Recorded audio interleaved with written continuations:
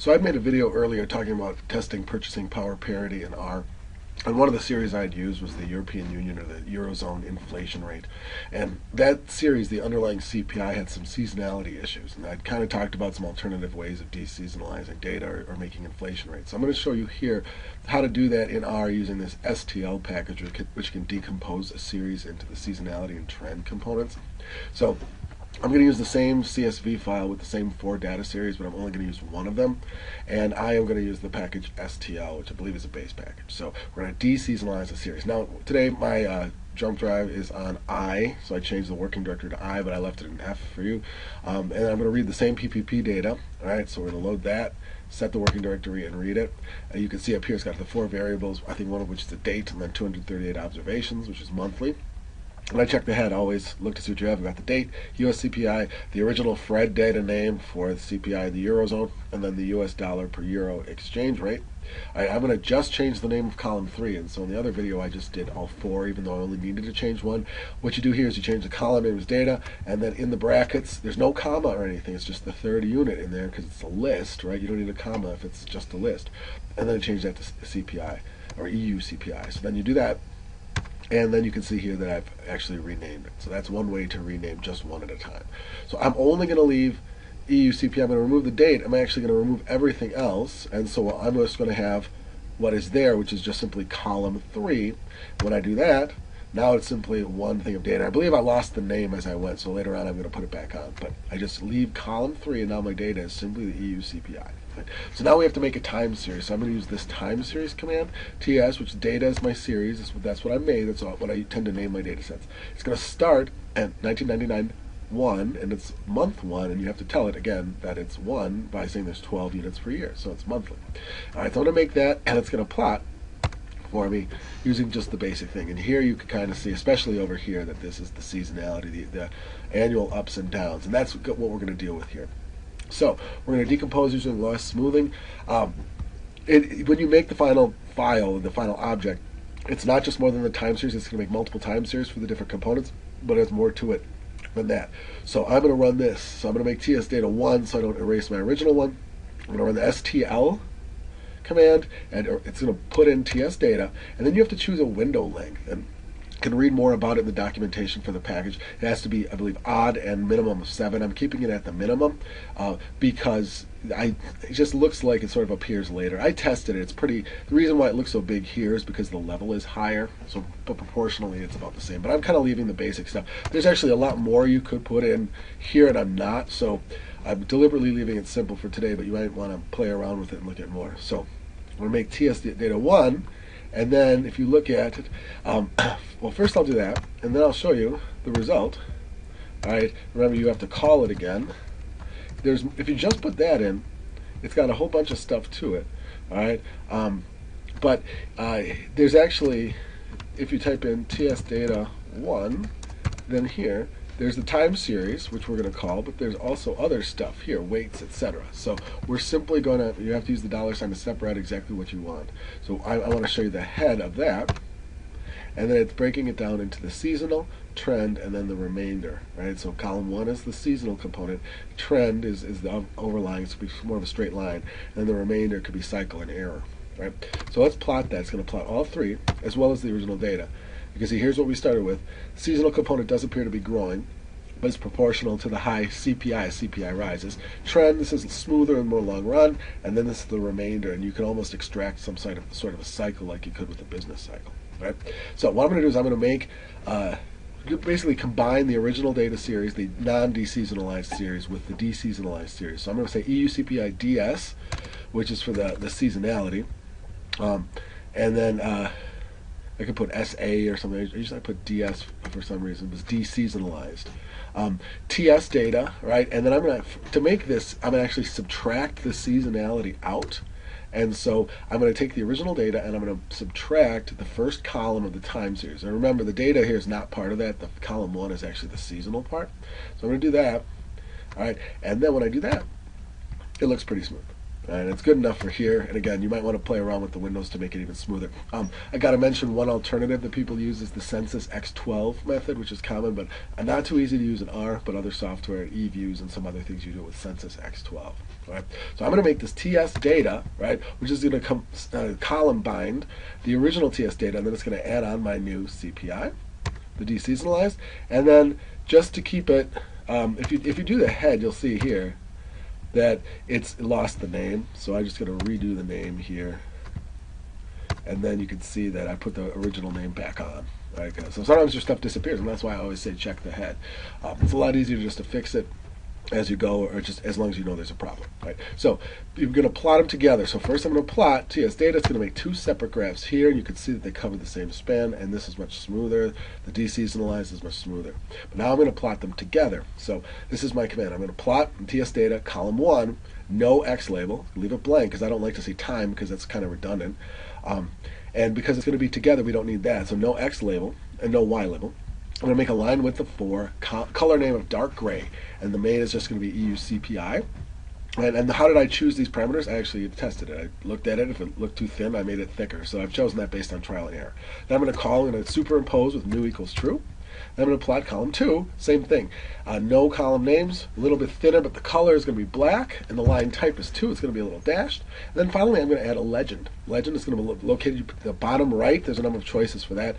LTY line type is a combination of the 1 and the 2 here. Now I didn't put LTY equals 1 up here. It's assumed default is 1. So it's 1 and then 2 from the bottom. Line width, 4 and then 2. Colors, dark gray and black. So it's exactly parallel to the 2. And the legend is the names, not adjusted and seasonally adjusted. Right, so if I do this, it will make one nice graph here. And you can see here that the straight black line is much smoother and the seasonality moves up and down from it. All right. So now I'm going to make uh, month-on-month -month inflation rate. I'm going to do it two different, actually I'm going to make three series. One is going to be once per month, right? January over December and then December over November. And remember, sometimes students will say like they make one a year, like they're going to make a 1980 inflation rate compared to 1979, or they're gonna make 2009 and compared to 2008. You actually have a new value every month. It's a continuous series.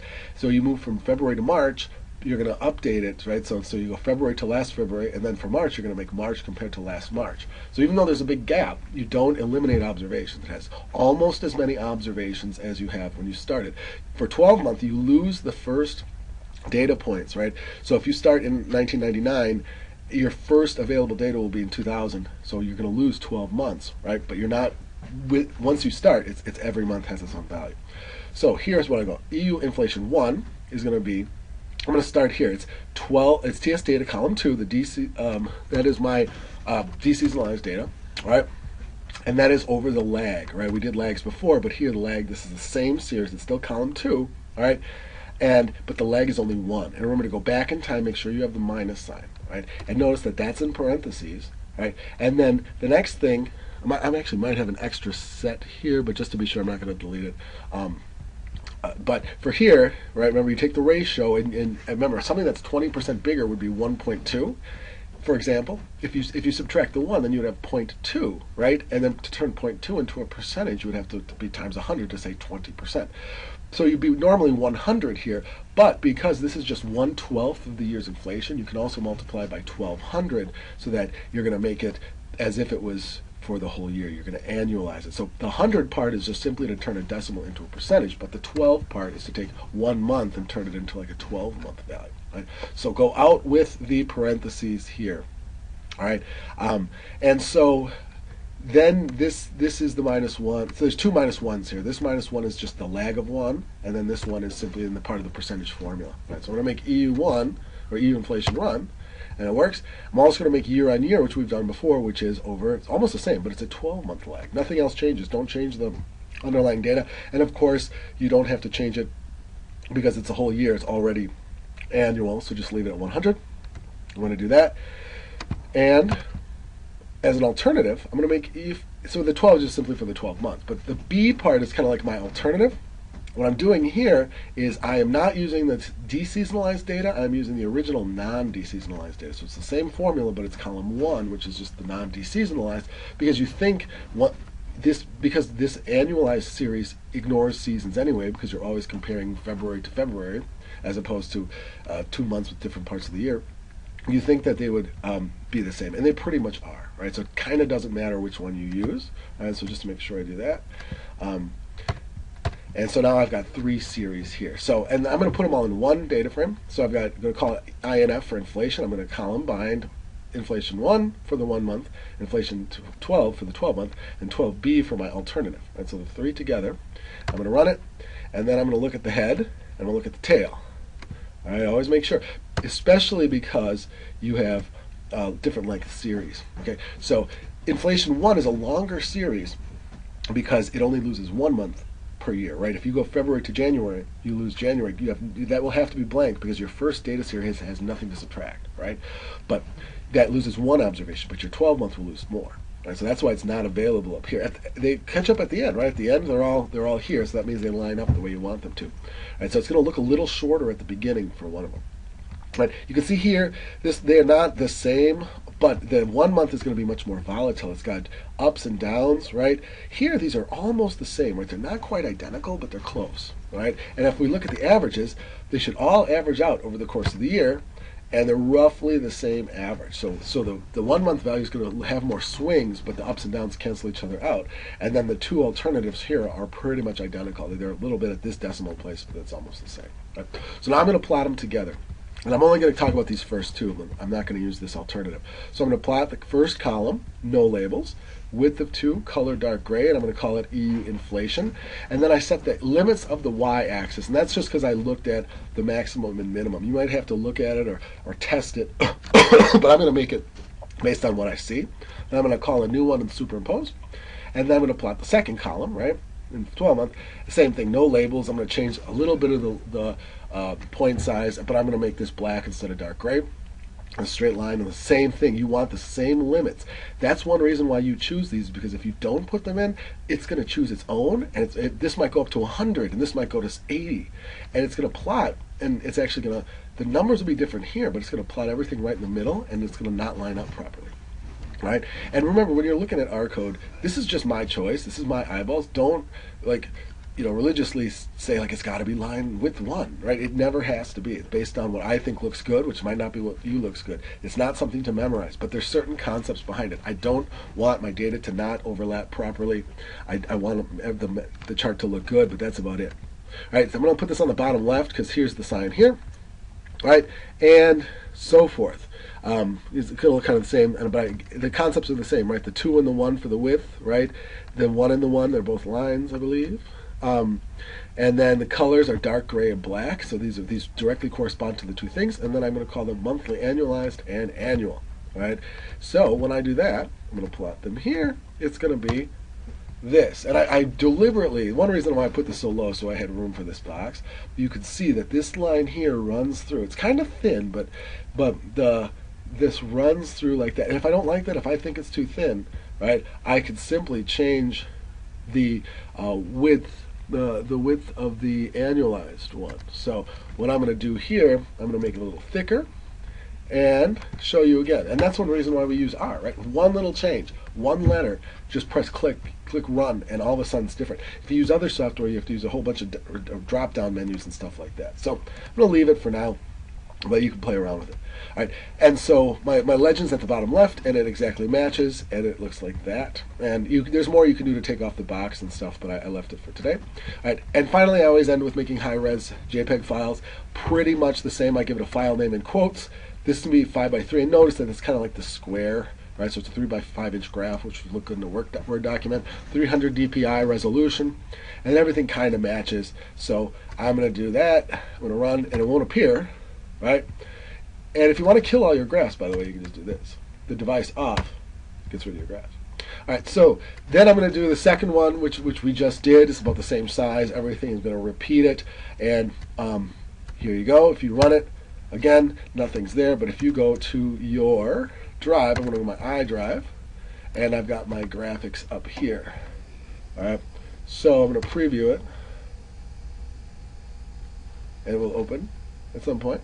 And here we go. So this is where you can clearly see the inflation rates run through. Notice that the annual, annualized, the, excuse me, the 12-month annual series, which goes from this February to last February and cuts out all those months, you lose 11 more observations here. So you can see that it's shorter, but it all lines up at the end. One thing to watch out for is if you line it up wrong, you might have it start early and end early. That's actually the wrong years, right? They have to end at the same time, right? So this is my EU inflation rate, and then uh, what I did here with the EU CPI, right? So what, what would I do to have to fix it? I would have to actually change the Y limit, right? So let's go in and do that.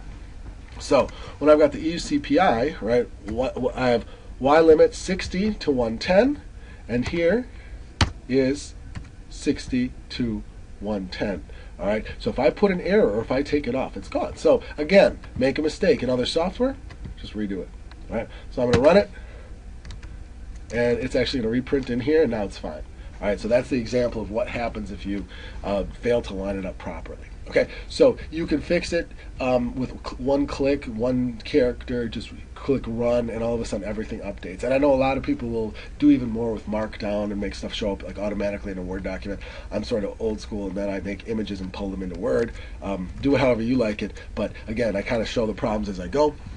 But not lining up is one of them. So we have the nice JPEGs that you could use for another software. So, um, and they show up in the same drive. I mean, in this case, my I drive shows up in the same drive that you set as your working directory. And I'm putting everything in my root folder just to not have a long name, but you probably want to have a, a subfolder. Right, so that's what we did. I took uh, kind of a data set that we'd already used and a problem that I had sort of pointed out, and I'd sort of mentioned that there's alternative ways to, to talk about uh, inflation based on seasonality. And what we did was we took that series, we looked at it, we deseasonalized it, we kept the seasonal component, took it out, and then we compared deseasonalized and non-deseasonalized data. And then finally, we took a 12-month inflation rate and a, a one-month inflation rate and compared them side by side and plotted them. And then using uh, some statistical tests, we looked at averages, but we also plotted it. We were able to kind of make some nice graphs that uh, showed the, the presence of seasonality as well as two measures or two methods of deseasonalizing data, or two and two measures of uh, making an inflation rate. So hopefully that'll help, and hopefully you'll be able to use R to eliminate seasonality when you when you encounter it in your own work.